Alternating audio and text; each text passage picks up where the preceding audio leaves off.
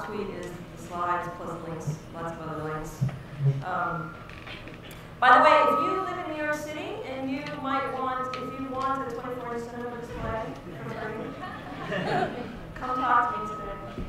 I just had to replace mine for some epic reason I won't bother to explain right now, but I want to give the one that I used to use. So I'm going to talk today about CSS Grid. How many of you have heard of CSS Grid? And how many of you have written code or used CSS Grid in a design? Yeah, that's great. That's about where we are right now. Many people have heard of it, not everybody, and hardly anybody has used it yet. Because it's brand new. So what the heck is CSS Grid? It's a CSS specification, uh, basically a big technical document that defines a new way of doing page layout on the web using CSS. And in some ways, you could say that this is kind of the first time in 20 years we've had a way to actually do page layout on the web. It's very well supported in browsers. Why? Because it came out in like a lot of the browsers in March. It came out in Firefox the first week of March, Chrome the second week, Opera the third week, Safari the fourth week. Mobile and desktop versions of those, which uh, Safari and mobile means everything on iOS. Um, there's still lots of browsers that don't have it, of course, but you definitely can start using it today, and they'll have links later for more about to do that, how to support mobile browsers. But I want to talk about grids. I want to talk about layout. Right? This is what everybody tend to think of as we think of a grid.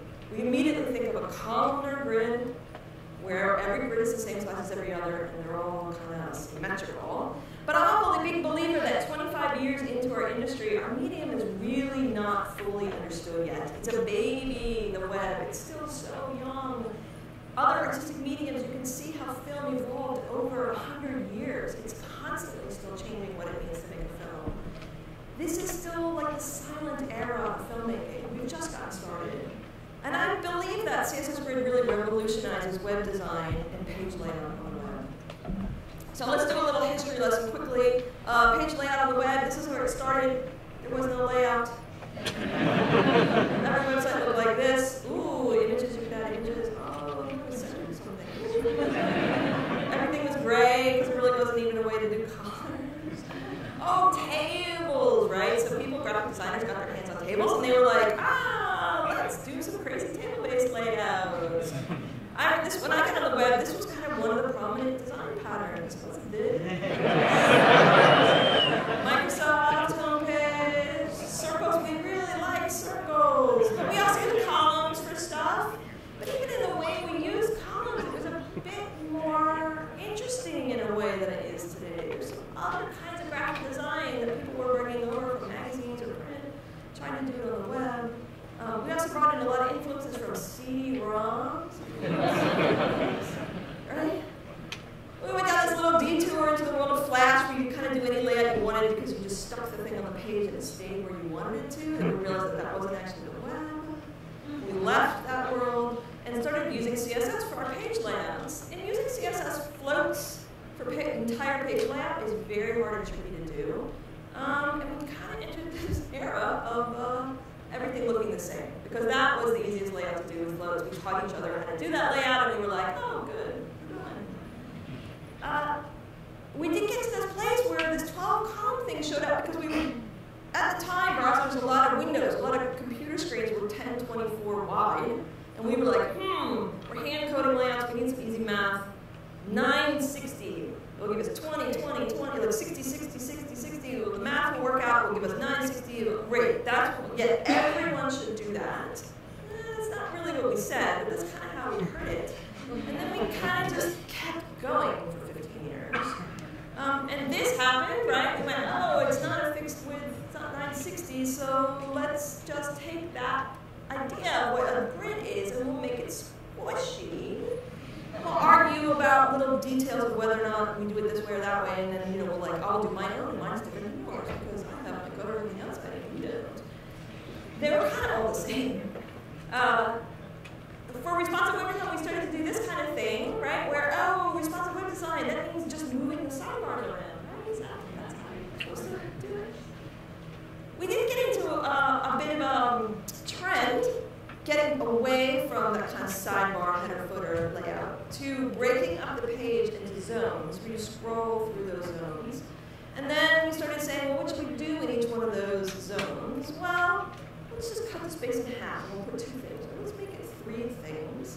Uh, and it feels like now a little bit where everybody, the website looks like it was made on Silicon so why? Well, part of the reason is because floats are still really hard. And we've all reached for tools to make things easier, Bootstrap. It's almost as if the whole industry is using the same WordPress theme.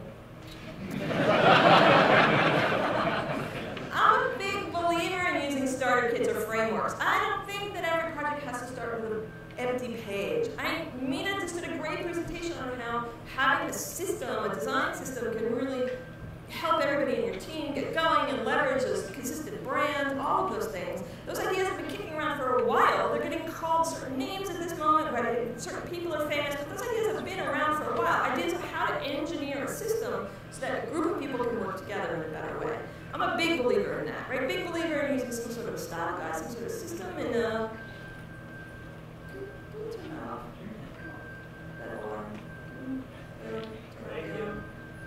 um, but it seems like we do this thing where we're like, okay, let's have all these, let's custom design our fonts, let's custom design our colors, and we'll take all these different unique things and we'll stick them all into uh, 12 column symmetrical layout, right?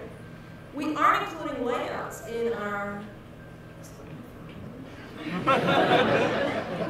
uh, we need to start doing layout palettes, I believe. We should start having bespoke custom layouts. And part of our whole system and part of the vocabulary of what's going on is to have layouts that uh, convey our brand and make uh, our system make sense, that are being used unique for our project, not something that everybody uses. Not always this 12 column kind of thing. So there's the official timeline of web page layout. Um, we are now officially in the kitten unicorn era. So why do I believe this? Why do I keep getting on stage and saying this? It's because there's a whole lot of new CSS properties to be had. Um, I'm only going to talk about CSS Grid today, but I have been the last two years talking about many of these others. You can see the videos of those talks, so learn about those. And there's also a whole bunch of properties that have been around for a while. They're part of CSS2, or they're things that we've been using for a long time. And, I think we also have a lot of ways in which we've been saying, always do it this way, never do it that way, always set things fixed, always do percents, always, I think the word always needs to go. We need to assume that all of those ideas that we had are actually up for grabs again, and we're not really sure. And we should spend the next year or two figuring out and exploring. And we're going to combine all of these things together. We're not going to get rid of Flexbox and replace it with CSS Grid. We're going to combine those things together.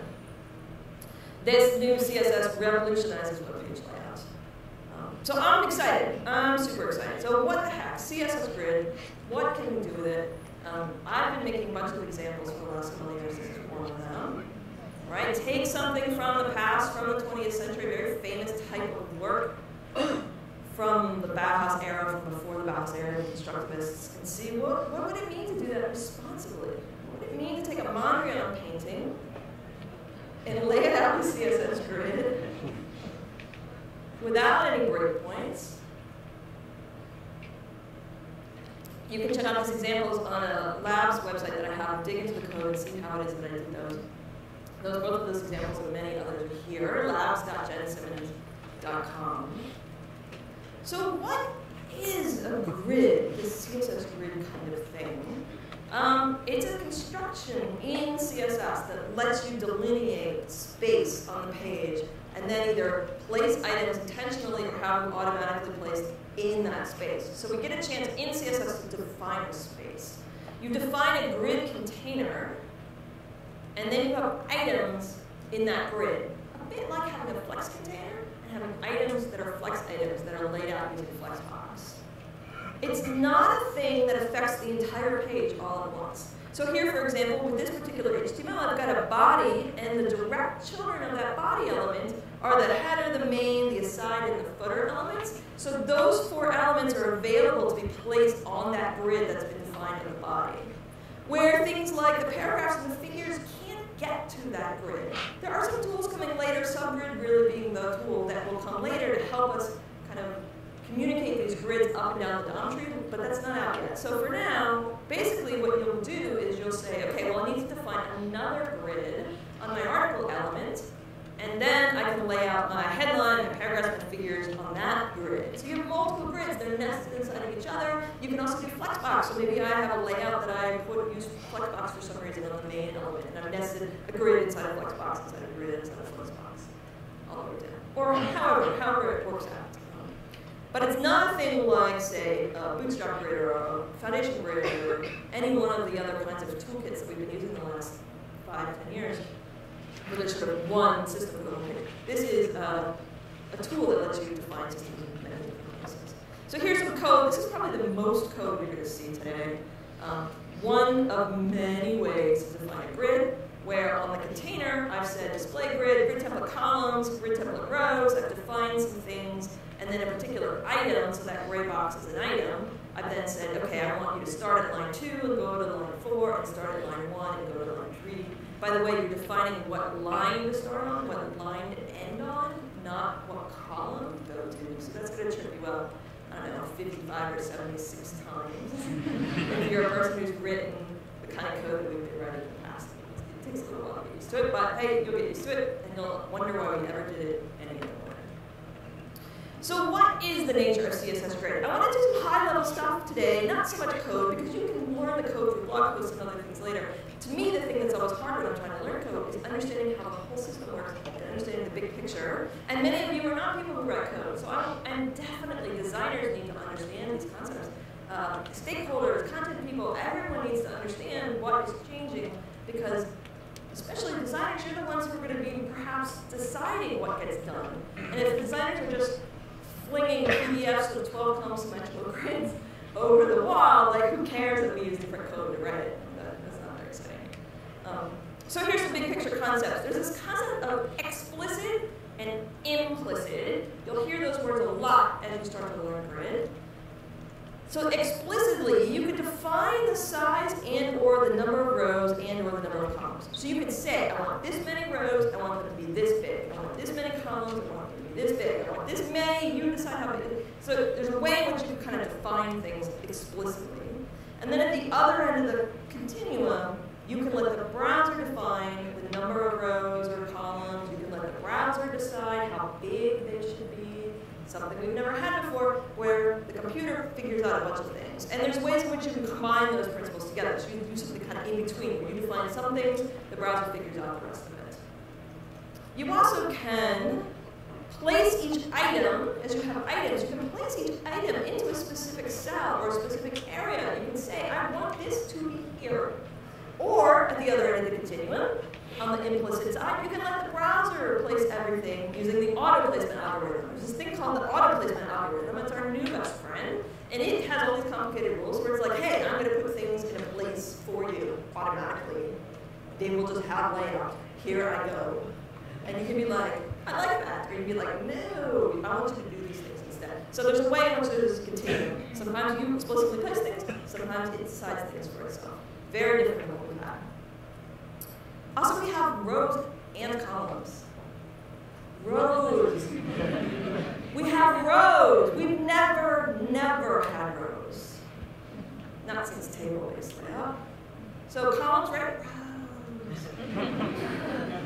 It's profound. And at first I thought, oh, that just means we can like line things up in a horizontal fashion. But no, it means so much more than that. It means we can actually place things in a vertical space. Track sizes don't have to all be the same size either. In fact, it's just as easy to make them be different sizes as it is to make them be the same. So hey, let's make them be different. Uh, they don't have to be symmetrical. We can have an asymmetrical grid. We can, set up ratio-based arrays. We can set up things that are based on different sizes of content. There's all kinds of ways to go at this. we also can have it where um, the content is sized by the size of the track. So that's how we've been doing it in responsive world, where you sort of say, hey, this column is going to be 20% of the available space. And then the content inside of it refits itself into the row. So the image squishes to be the size of that row, or the column and the text squishes to be the size of that column. We can do that. We will do that. That's awesome. But we can also do the other way around, where the tracks themselves take their size from the size of the content, which is interesting. And you can mix those things together. So here I've got maybe the first column is fixed width, and then there's two more. The first one gets two portions of the space that's available. The second one gets one portion of the space that's available. And the last column is being, the size of it's being set by the size of the content that's inside that column. And the whole thing is responsive, but we're mixing fixed widths with squishy widths and things that are determined by the size of the content and things that are determined by the size of the space that's available. Completely different than what we're used to. Also, content doesn't have to fill a track. In the past, our content and our track were really the same thing. They were the same size. In fact, it really wasn't a track. We pretended that there were tracks by making content that was a certain size. So the size was the thing, was the size. But in Grid, you can actually define tracks, and then you can put content in those tracks, and the content might be smaller than the tracks that it's in. Which then gives us the opportunity to use these alignment principles. If you know box at all, you're familiar with these alignment principles. I'm not going to go into detail of what they are here, but it means you can set where things go vertically or horizontally, whether you want them to be the top, bottom, left, right, center, or better, word start and center. So you can end up having a layout that's something like this, where the content is kind of just put in places based on this grid that we've defined without the content necessarily all lining up. It also means I can have an object, this item that I placed here, put it into this group of cells, which is called an area, and I've told it to center itself. So it's actually not even lined up at all. Um, we can line things up with grid, but we don't have to. It's an option. Sometimes we want to. Sometimes we might want to do something else. So how in the world are we going to decide what to do with all these things I just rounded off? This sounds really complicated. How in the world do we know where to put things? Um, and this is where I think we can really do well by reaching for graphic design. Um, visual hierarchy is a principle of graphic design uh, that many of you know all about. But somehow on the web, we kind of, our, our idea of hierarchy on the web is closer to the top left-hand corner is better. Down is worse. I want my stuff at the top. Right? Visual hierarchy is another way to do it, where maybe the things, maybe there's empty space at the top, and then the like important thing is big. Users know where to find it. They're not confused because they understand visual hierarchy. They understand to look at the big thing first, the bright thing first, the thing that has more of a statement. They look there first. Symmetry is another principle. Symmetry is awesome. Also, you know what else? Asymmetry is awesome. We never do anything asymmetrical on the web. I have no idea why. Everything looks like this. Only asymmetry. Proximity is a really fascinating principle. When you put things with each other, the brain, psychology, people's brains associate them with each other. And when you move them away and you have little groups, people assume this group of things go together and they assume this group of things go together. So as we have the ability to create more space in our designs, we're going to want to think about this principle of proximity and create associations by things being close to each other. Density is another quality of which I think we really need to think.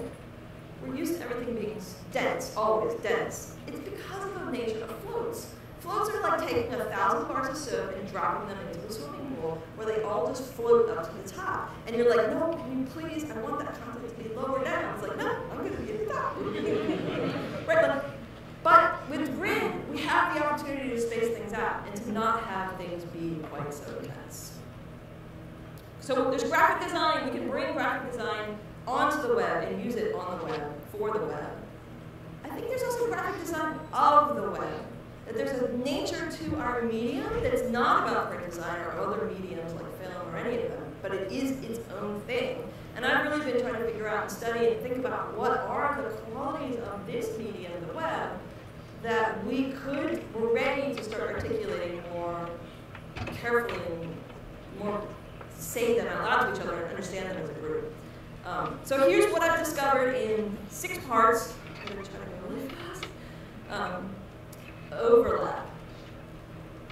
Not really new, but lots of overlap. lots of overlap in magazine design and other kinds of design. It's something we've not been able to do on the web, um, and now we can. So you can actually space things out, and you can overlap. Z-index, all of it works really beautifully.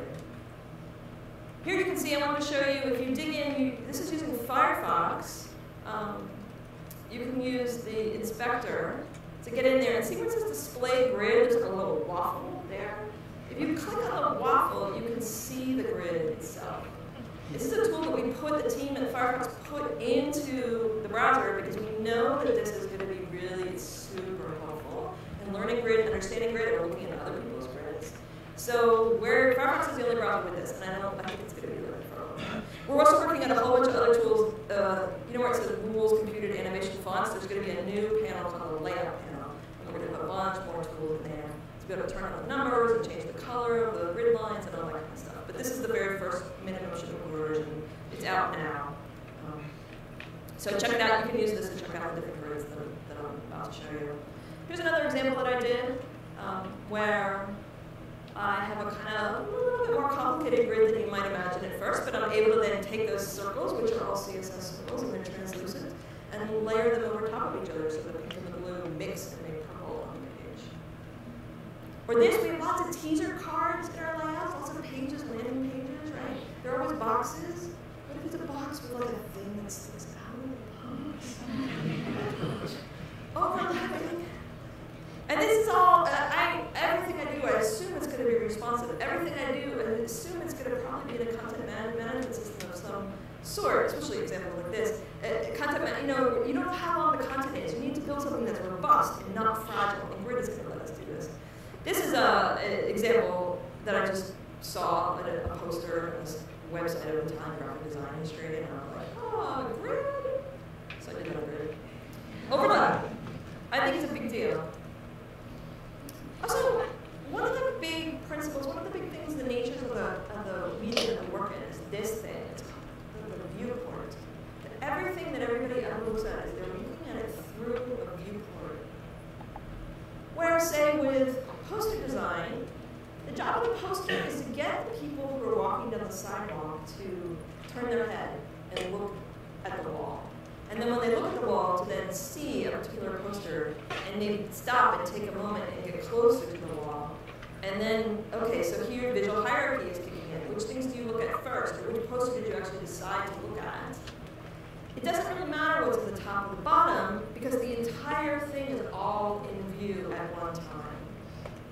Here's a poster uh, for Jazz at Lincoln Center from 2007 um, Wynton Marsalis playing the trumpet, right? The logo's in the bottom left corner, that's fine because it's you can see it just as easily in the bottom left as if it were anywhere else. And those boxes, they look kind of, um, they're static, they feel very static and a little bit rigid almost, a little bit like interesting, but yet kind of solid in their place. I took this poster and I just did a literal interpretation of it on a website, on a web page using Grid. And it looks like this. So for one, it's great because the title doesn't have to be the very top. There's white space. Those boxes can be all through the page. It doesn't make sense to put the logo at the bottom. It needs to be somewhere up higher. But the other thing, because we're looking at this through a viewport, our experience of seeing Wynton Marsalis is very different. You just see him, and then as the scroll reveals the trumpet, it's a bit more dynamic, actually, than the poster. And those pink boxes, to me, really start to feel like notes more than they did on the poster. Being unveiled as things are being seen through the viewport. We think about this a lot as users, but we don't think about it as designers. So if you go to Amazon, many of us do often, and you know kind of your muscle memory, like how far to scroll to get to the customer reviews. that, yeah, that's what I care about. You don't even read whatever's above it. Um, but if you were on a team designing this, or you were on a team engineering this, there's a very good chance that someone would, what, they email you a PDF that looked like this, right? No one has the mental model. Did you know that the page was, the shape of the page was like this? It was tall. No one has this mental model in their head. Uh, it kind of makes no sense. And in fact, frequently the designers that I've worked with don't email pages this tall. They email pages that look more like this. But this doesn't actually convey all the content either. Somehow it happens to be the same size as a letter piece of paper. uh, that's not our medium. Our medium is this. right? So how in the world are we going to do a better job of conveying web design as experience to review boards? We have this debate about Sketch versus Photoshop, PDF versus demos versus prototypes. Should we design in CSS and HTML? Does designers need to learn code? Um, there's good reasons to be static sometimes. There's good reasons to use paper and pencil. There's also good reasons to have something that you can actually see through a viewport, or something that you is interactive, that you can actually experience what it's going to be, and you can test it on many different sizes of devices. But I also think that there's a space in between where it would be really nice to be able to quickly sketch things and quickly figure things out with a low fidelity, low risk, low cost to throw the idea away. Let it be static, but experience frames, experience moments, experience what is it like to be halfway down the page or three quarters of the way down the page. And I was, I've been thinking about this, like, well, that sounds familiar. Like, where else, who else is it that needs that kind of solution?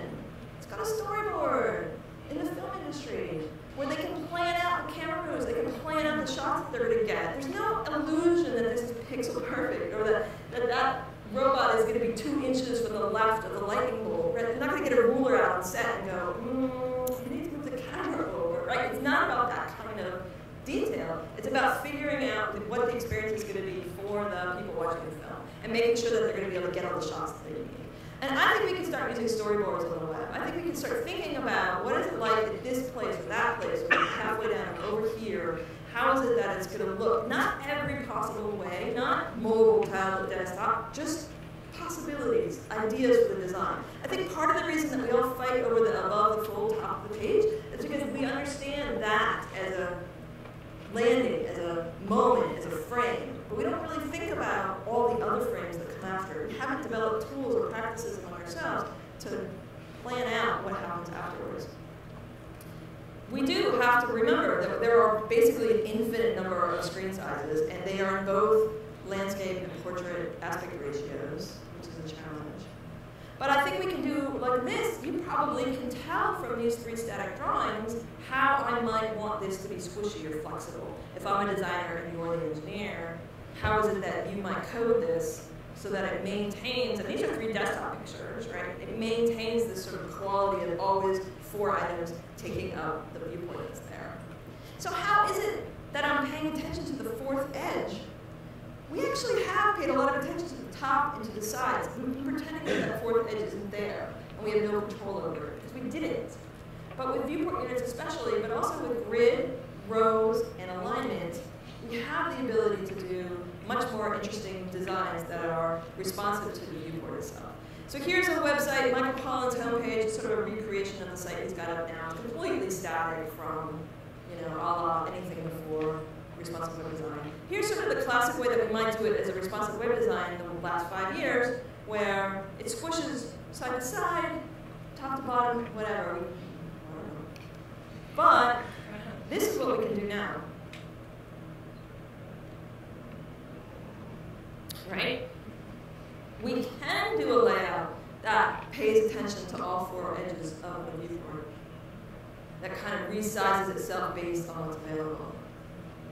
Because that grid row is just, just telling the content what size to be, and it's, it's just, you can dig into the code to see how easy it's working. Um, but there's a lot of new possibilities out there. Here's another example where I've got two different aspect ratios, very different and yet the content itself is sort of fitting the space that's available. And this isn't for all content. Maybe this is for some sort of an interface for an app, or maybe this is for uh, data visualization in the middle of a long article so that the data visualization always fits on the screen. Or maybe this is for some kind of other piece. Um, but there's a lot of possibility there. So how in the world did I did that? Well, I was doing those things basically by measuring everything, the layout in units. Or here, that circle is 50 vmin, so that it's always 50% of whichever is the shorter length. And then the red box is always 100 VH tall. Viewport. I don't know if you've ever shot 16 millimeter film on a Bolex camera, but I have. And the first time I picked it up, it was not at all like shooting video with a phone or whatever. It was like shooting video through a toilet paper tube. it's the tiniest viewport, and my reaction was like, how the world at a time. The film industry spent generations answering that question, generations figuring out what to do with a frame, how to tell a story through a two-dimensional surface, three-dimensional, create a three-dimensional world. Framing. And I think there's big questions for us to ask about what does it mean to have a reading experience with a frame, where things move in and out of the frame, or an interaction experience. We need to have an interaction experience. And maybe things don't scroll vertically, maybe they scroll horizontally. But what is that? What, what do we do with that? A big place to explore. So white space. Um, Vignelli's, very famous Massimo and Lella Vignelli, graphic designers, uh, product designers, they said in their book, The Vignelli Canon, great designs can be achieved without the use of grids, but the grid is a very useful tool to guarantee results. Ultimately, the most important tool is the management of the white space and layouts. It is the white space that makes the layout sing. Bad layouts have no space left for breathing. Every little space is covered by a cacophony of type sizes, images, and screaming titles. we can have white space because we have rows. You can dig into this example on your own. Here's another one that I did. Someone tweeted me and said, "Can you? How would you make a Monopoly board?" I'm like, "Oh, like this." It's some sort of interface design when things are actually going up. 13 through 16 go up the left side of the page. White space. Don't have much time to talk about it, but I think it's one of the most profound things that really gives us is white space. Verticality. I also think, I mean, of course, sometimes we should be, we can be, we should reconsider more often now horizontal scrolling. Maybe it's not as bad as it used to be. We never, we don't anymore have those little mice with wheels and like, like your fingers are on some sort of piece of glass, some sort of trackpad mostly. Horizontal scrolling seems to be fine in native apps, so why would it not be fine on a website? But much of the time, we're getting people to scroll vertically. It is an experience of a vertical space.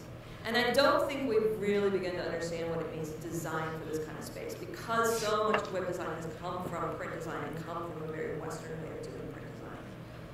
And I've been looking a lot outside of the Western world, or outside of Europe and the United States specifically, to look at graphic design that has much more of a rich traditional understanding of how to use a vertical space in a, in a really good way.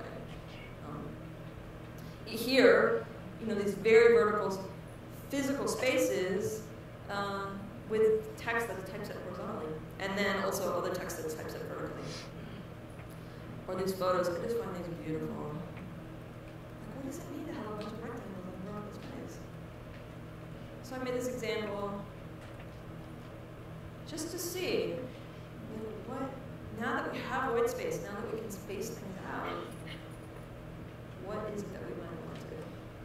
much more to be played with, much more to be thought through.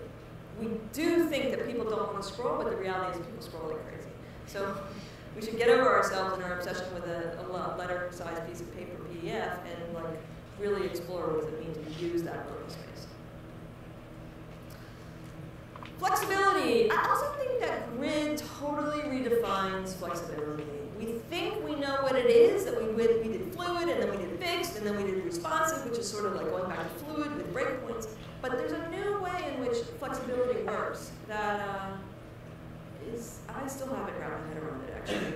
Um, so what am I talking about? Well, you can size things in pixels, in ems or rems, in percents. These all calculate out, though, to fixed numbers. They end up being computed by the browser to a specific length. But there are these other ways in which you can measure things. Here's three, min content, max content, FR, and min max. Min max works in grid and FR as well. Min content and max content actually work outside of grid. They work in a lot of other contexts as well. So I took this poster, postcard, uh, very famous work, and said, I saw this, and I was like, ah, grid, how do I do that? Not how do I do this in a fixed way, because I could bang this out with a bunch of pixels pretty quickly, but how would I do this to make it responsive? What does that even mean to take a piece of work like this and try to keep the integrity of this layout while making it responsive? So I took a totally horrible photo and I drew a bunch of quick lines on it just to get a sense of where my line should go. And then I started thinking about, well, how the heck, where do I, um, so we've got this phrase, which is uh, free entry in German. How do I, so that the line two should be at the very beginning of free entry. Line three should be at the very end of free entry. But then line three also lines up with that edge, the right edge of the black box, and the right edge of the name. How am I going to do that? Well, if, if we set that column to max content, then those two lines are always going to be right at the beginning and the end of that phrase. So what the heck is max content? So here's a phrase with several rules. Let's say there's a box that has a size, and the words just wrap because that box has a size. Right? We're used to that. Max content is the length. If you took those words and you stretched them all the way out, but you didn't make any extra space, you just made the length of those words, that's max content. Or if you start to squish it to the point where it's as squished as it possibly could be, none of the words break, and there's no, uh, uh, nothing overflows, nothing sticks out of the box. That's the min content size. So by setting that second track to max content, I can uh, get those two lines to line up. And then by setting the one, the first track to max content as well, then the second, everything's going to start lining up. And then that last track I set to min content because I want it to be as small as possible. And then I set the middle one to 1FR, which gives a kind of squishy, interesting, there's a few things that aren't quite what I want them to be yet, but everything else kind of really works well. And the type doesn't, yeah. So what the heck is an FR unit? Uh, FR unit, what is that? FR unit stands for fraction. So, let's say you want to make three boxes. You want to put them on the page, you want them to be all one third of the space. So how do you do that? All right, let's do 33%, uh, 33%, 33%. Well, it's 99 total, whatever, it's close. Oh, right, so, okay, should, it should 33.3. So how many decimal points should I use? Like, is there another, has anybody written a blog post recently about how many decimal points? Or can we have more of a longer debate about how many decimal points? Who cares how many decimal points? I, that's, that's what we're spending our time on. Uh, plus, oh wait, there's a gap, right? That's actually 33.3333333 is, a, doesn't have a gap in between. So, Maybe I got 2%, uh, but it's not 33, so what's the math? Right, so but uh, 2% is not enough, so let me try 3%.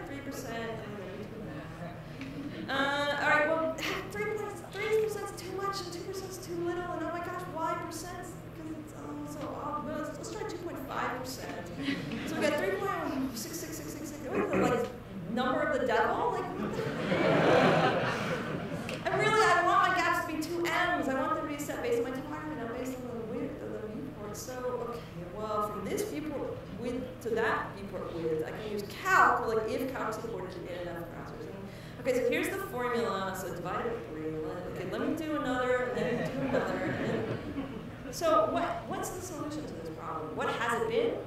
It's been that. Bootstrapping. this is why we fell in love with these frameworks. We're like, I can't do this math one time. Can somebody please give me a Sass, some sort of Sass handle this? Um, yeah, that's why. But you know what else we can do instead? We can do this. You just say, I want you to be 1FR, I want you to be 1FR, you want you to be 1FR. Hey, I made my gaps be two M's. Computer, could you do the math for me? Turns out computers are really good at uh, so what the computer is doing is it's looking at the number of FRs that are in the space, and it's saying how much space, how much, I got, I got three of them, how much space, okay, well each one is going to be one third of the space. And then if you add another column, or if you program things so that the browser adds another column at some point, you don't even need to tell it when, you don't need to use a breakpoint, it just goes, hey, we need another column here. Then boom, it's got four 1FR columns, it goes, oh yeah, I know that means now I don't have to be one quarter. It just does the math for us. And you can end up doing a design like this, where, like I said before, you can mix a fixed width column and then some FR columns. And so as there's more space available, that space is distributed between the two 1FR columns, and the 100 column keeps its same width, which is super handy when you need to make your left rail be the size for the IAB advertisements that you're going to be on your website, right? It solves the problem of how to combine fixed pixel stuff with responsive stuff. And it does it really well. So here's another layout that we could do like that. Or this, oh my gosh, you can do 2.4 FRs. You don't have to even use integers. You can use decimal points. And you can combine them and you can make some sort of a ratio-based array. You don't have to make all your columns be the same size as each other. It's super easy to do it now. Mark Boulton's been talking about this for years. Um, it just was really hard to kind of do the ideas that he's been advocating for, but he's got all these demos out there of what layout looks like if you're using a ratio-based array of columns rather than symmetrical columns. Here's a diagram from Nathan Ford, an article he wrote. Nathan used to work with Mark Boulton, where on the left you can see a layout that's on a grid that is a symmetrical grid of all the columns are the same size as each other. And on the right is the, kind of the same layout, except the columns are not the same size as each other. So there's a ratio-based array there. And it gives it a much more, a fresher feeling. Like there's a brand expression by the way that the columns are based, the math. Min-max is another really great um, unit where you can um, say, hey, I want this column to be a minimum of a certain number and a maximum of a certain number. So here's an example that I've got where I've said, hey, I want the text to be a minimum of 40 characters and a maximum of 65 characters. And you get this kind of uh, result where those empty blue columns that are 1FR are squishing down, and the text didn't start squishing yet, and now the text starts. Like, what? Responsive design in multiple stages? Where certain things squish at certain times and other things squish at other times? Like, this is actually, this is how why I say it's a profound difference in the definition of what responsive actually does. So you can define something that, so that you get really beautiful graphic design in all sorts of sizes, um, and you can mix things together. And it really blows this whole concept of pixel perfect right out of the water. Just, if you haven't already let go of that, please let go of that. What we really need to be defining as designers is what happens when parts of the content or interface are missing, or what happens when something is longer or shorter than we thought it was going to be. That's the kind of stuff that we need to be thinking about. We need to define the flexibility model on our sites. Grid is going to let us do that and make something that's truly responsive to the context that we've got, the viewport that's coming up. So that's flexibility. And my sixth point is um, creativity. I keep looking at these old designs because I'm just trying to shake up my brain and get out of these ruts. And I saw this and I was like, ooh, now you can land new customers. Can I lay that out in grid? How awful would that be? Uh, and it turned out it wasn't really that awful. A little bit hacky with the HTML, but not so bad. And then I was like, wait, what about that navigation? Like, it's all these things in a row, but they're like staggered. That's actually super practical. I could totally that on an X website. Yeah, that there, that worked really well. And then I actually did a grid for the entire header to lay out everything else in the header, and I did a grid for the whole body, the, the content, the main content on the page. So there's four grids on this layout, and I recreated this uh, design right out of what, 1998 or something. With the text, like, we can help your sales soar, it's actually laid over the balloon photo properly. It's real text instead of it being what we used to do, which was Photoshop. So it's definitely, it's time to play, it's time to learn, it's time to not think we know what we're doing and to realize that there really isn't any new best practice yet. Uh, the people who know this better than ever, we don't, I, I can't tell you what the best practice is, so like, why, don't listen to anybody who's claiming they know what it is. Um, I'm building a site right now, Layout Land, hopefully this will be up in May or June. Um, any minute, I'm gonna finish it. I mean, started, I mean, finished. uh, it's going to be a place a lot like CSS Zen Garden where we'll, we'll, be able to put up demos and share with each other and learn from each other and get resources from them. Um, I have these two videos that I did last year and the year before. There's very little about grid in them, but there is a lot more about all kinds of other things that we can do with page layout and the new CSS that we have. Um, I wrote this blog post, uh, Learn CSS Grid. It's on my website. It's also the pinned tweet on my Twitter account with a whole bunch of links of where to go to learn more about grid. Um, like I said, labs.jensimmons.com has all my examples. Um, MDN is a really good resource for really kick-ass, good quality, written by Rachel Andrews, who totally knows her stuff, uh, documentation on what grid does, especially all the properties, everyone knows what they do. Um, and there are in there, there's these guides, and there's a whole guide on how to use grid and keep your website accessible because you can really screw it up. So don't do that. Learn how to, like, what the good things and what the bad things are, and make sure that you do. And then there's a whole guide on um, grid and progressive enhancement. So it's a detailed look at what's up with IE, what's going on with Edge, uh, how do I use this even though there are many users out there who still don't have grid, uh, especially on phones like the QQ browser, which is super popular. It's twice as popular as IE globally. Um, so we definitely need to support browsers that don't have grid. You can totally do it. You're going to use feature queries, add support statements. It's going to be a piece of cake, not a piece of cake, almost a piece of cake. Um, it's not twice as much work. Stop saying it's twice as much work.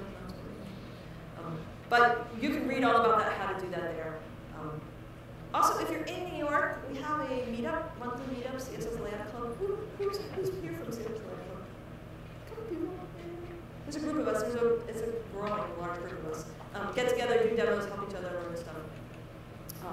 Um, I'm doing an all-day workshop in Boston where I'm going to go into lots of details about this. This is coming up in May, so if you're interested, go to Eventbrite.com find the Boston show. Um, it really is time to explore.